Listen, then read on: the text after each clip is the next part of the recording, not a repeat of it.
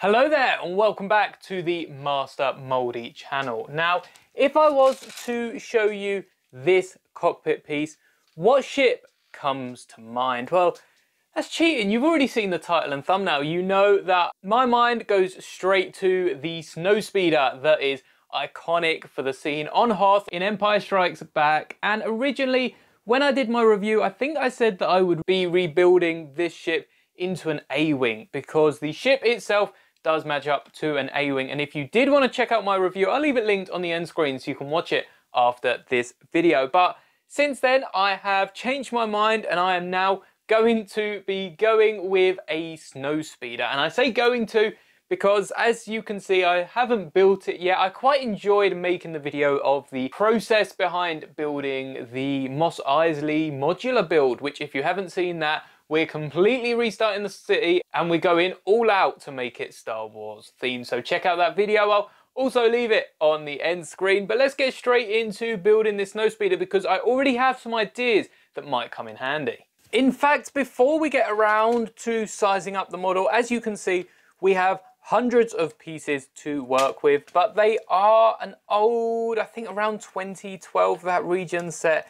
They're over a decade old nonetheless, and it does mean the bricks are prone to cracking. So I showed you briefly the other day, my printed wedge brick here has actually cracked twice along this side of the brick. So I ended up trying to glue it together and I'm honestly not sure if this is going to work out. So I might just pull this apart by ripping off the tape, but we're going to find out on camera because a lot of people will just throw this brick away. And first off, I perhaps shouldn't have used this strong tape because it might pull off the printing, but it seems we got quite a bit lucky with that. And it looks like it has held together. It looks like it's held together quite well, which is really, really nice to see. There's some sort of remnants of, I don't know if that's a bit of, probably a bit of the glue. You can see a little bit, that crack there was the first one. And then we had this massive part on the right crack off. But I've just used a bit of glue to seal it back up and it doesn't look new, but when you're building a MOC, I'm not going to try and sell this to anyone because I wouldn't recommend that. This is probably going to snap the next time I put it down on a Lego plate. But when you're building a MOC, this side is going to be up against another brick wall. Hopefully it is. I'm going to make sure it is now that it has cracked. You're not going to see it. You're not going to see it in the original model. But rather than just throwing it away and having that little crack visible at the front, I thought I'd give it a go gluing it. And as long as it doesn't crumble, I definitely recommend trying this yourself. Of course, don't go out of your way to break any Lego pieces, but if you have a few pieces that are repairable, they're not going to be as strong as the regular ABS, which can hold quite a bit of tension, but they're gonna look good on a MOC. If you are new here, you might not know the first process that we go with when building a MOC, and that is to get an outline of the ship's size. This Snowspeeder, even though it's a MOC of another set, we're still gonna build this 1 to 45 scale. So I've got my corner plates here. I don't know whose idea it was to get white bricks for a white base plate. Maybe we can change that. So I've got some black ones here. I think that will stand out a bit better on the white.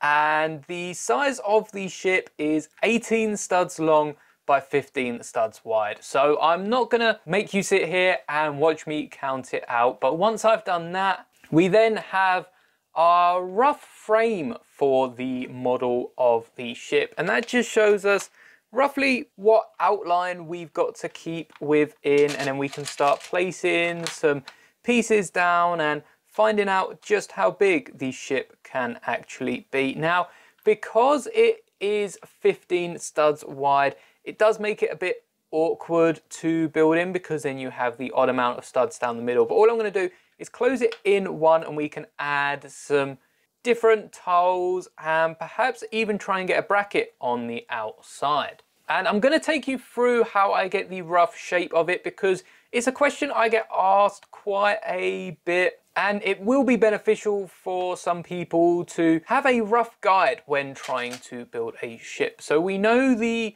square that I've got to be staying in, but the Snowspeeder actually has a quite complicated front to it where you've got the nose of the ship and then you have these parts, I guess, sort of sticking out over the nose and they are at an angle which just makes it all that much more complicated. I think for the sake of this snow speeder, I'm not sure we're going to be able to create that angle on the nose. So perhaps we just need to move the wings back a little bit and we don't want a really thin nose either.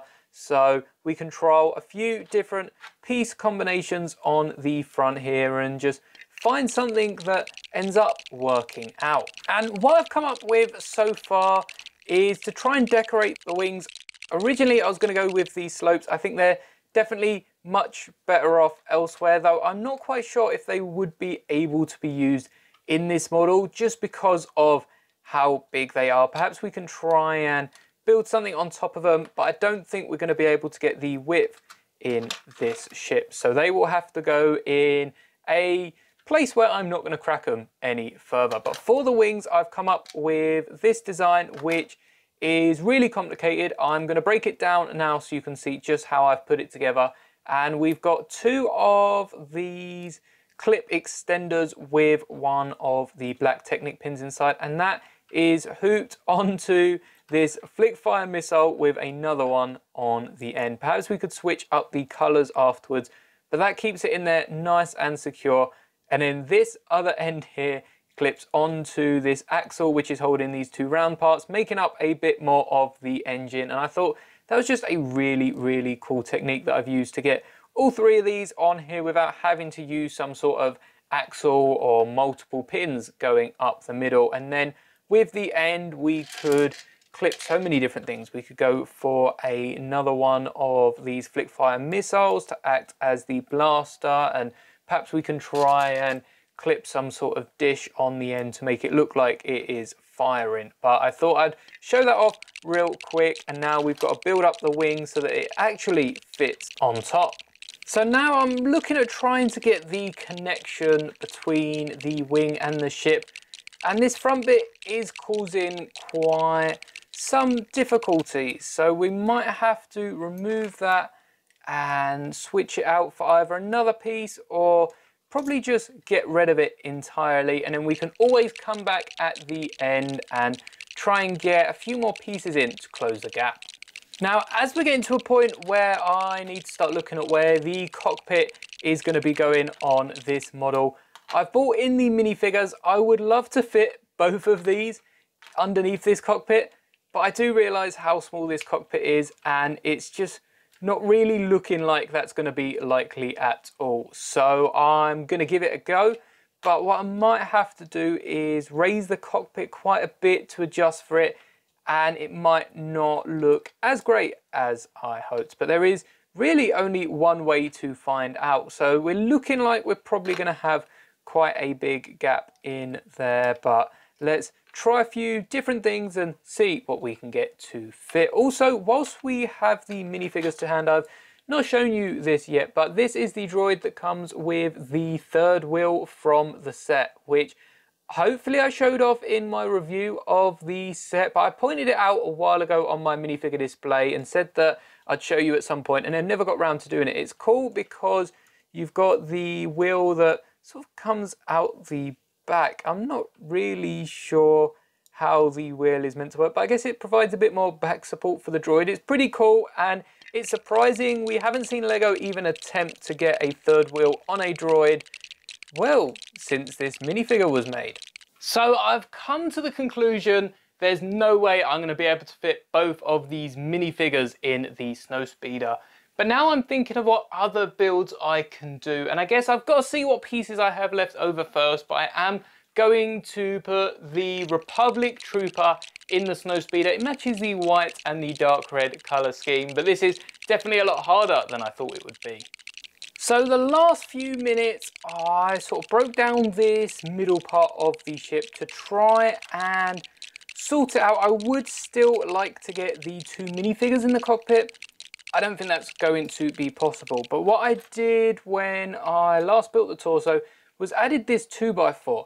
And that was so I could try and fit the droid on the top, which again is going to be very difficult because it's got the plate that sticks out just a bit too far on the front here. And it's also got the wheel behind it, which sticks out two studs. So that is going to be a task for a minute because what I've done to clip the wings at this angled position is you've got the bar and the clips from here, same as before. And then we've got these studs clipping it on on the underside, which are actually on the round circles that sort of usually go between the studs and are used to hold the studs. It's what gives Lego bricks the clutch power over everything else. And I'm really liking the design so far. I was going to incorporate the hinges you perhaps saw towards the front to cover up the edge of this windshield, but because I am putting a droid in the back, that's acting as the second person. So I think I'm all right with just getting the one minifigure in. Now I've just got to build up the front, get the point out and work from there. So for the last couple of minutes, I have been rebuilding and building again this part of the wing and it's still not lining up. And I honestly, you know what, looking through the camera, I think I've just solved it. So the mistake I'm making is this piece here. On the left wing, we've got a tile, and on the right wing, we don't. So I'm trying to line it up with the wrong tile. But so far, it is looking really, really good. About halfway through, I was thinking about perhaps turning it into an A-wing and thinking that Past Me had the last laugh, but I'm actually really liking the look of the Snowspeeder. So now I'm to bulk up the middle. All the interesting bit has been done, so I won't time-lapse the rest of it. And then I will show you the finished model, which you'll see in just a moment. So I've finally finished building this Snowspeeder. This was actually much, much harder than a ship that looks similar enough to another ship. Take the recent Snub Fighter, for instance, turning that into an A-Wing or maybe even turning it into a Snowspeeder Looks like it might be a bit easier than this. Obviously, I don't have the set, so it might be just as hard. But I have built the Snowspeeder, and I've actually managed to get quite a few different features into this. So we will take a look at it in a second. But the big test is, is it mini figure scale? Does this size up to a 1 to 45 scale Snowspeeder? And now is time for the test. It's definitely a very swooshable model. This is a really nice size for a Snowspeeder. I'd love, if we do get a Snowspeeder for Empire Strikes Back anniversary next year, I'd love for it to be this size. I think this is perfect. This right here isn't even a 30 pound playset. I don't think this could definitely be a 25 pound playset, probably 20 pound. You're looking at the battle packs. You know what? Lego probably definitely charge a 30 pound for this, especially if they use a few smaller pieces for the wings. But We've placed it down on the plate. It looks good. You can see at the back the wings, if I was to straighten out the model, fit within the width limit of it, but does it fit within the length? Well, we'll move it one stud forward and it's almost perfect. The reason I say almost, technically we've got the edge of this orange stud hanging out and we also have the engines at the back, which by the way, take a look at all the it's not even SNOT technique, it's a bit of everything that I've used for the engines, or don't if it's blurry, there we go.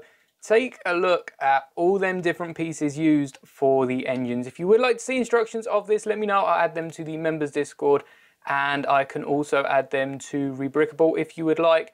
I'm really happy with how this turned out, and the best feature of it is you can see the droid's legs are somewhat clipped behind the slope pieces that are right behind it. And that means even though the droid isn't studded in or anything, it doesn't have any studs on the bottom of it, you can flip the ship upside down, give it a wiggle, give it a very violent shake actually. The wings are starting to pop off and that droid is not budging. Like you could be swooshing around this ship for so long, even swoosh upside down. Perhaps the pilot's practicing his upside down flying and there is no way that droid is coming out. And just to prove that the droid isn't studded in at all. All you have to do is pull up on it and the underside slope, stop the droid falling out, but also move the legs into the straight position you're used to seeing when you want to get the droid out. And I've also fit the Republic Trooper in the front. It's a tight fit, but it does look really, really cool. Now, the reason I've put that aside for now is I just wanted to let you know there are some really, really big updates coming for the channel, not in terms of videos, but in terms of expanding what we do under the name Master Mouldie. So please do drop a like if you ended up enjoying this video. It was a tough one, but we got there in the end and stay tuned there's a lot of work going on in the background right now and hopefully you'll enjoy where we're heading. But make sure you are subscribed so you don't miss out. Check out all the videos on screen now and may the bricks be with you always.